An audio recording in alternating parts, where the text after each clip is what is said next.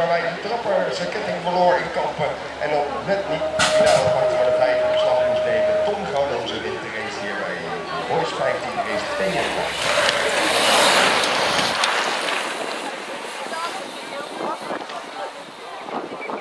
In race 53 zijn het Van Langveld en Ronald Lemmens op de 1 en 2. Op 3 is het Lino van Rijswijk. Mark Bettler zit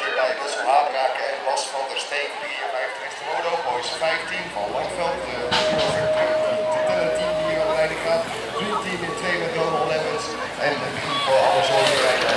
Heel veel van de twee met te platen. Ga door naar race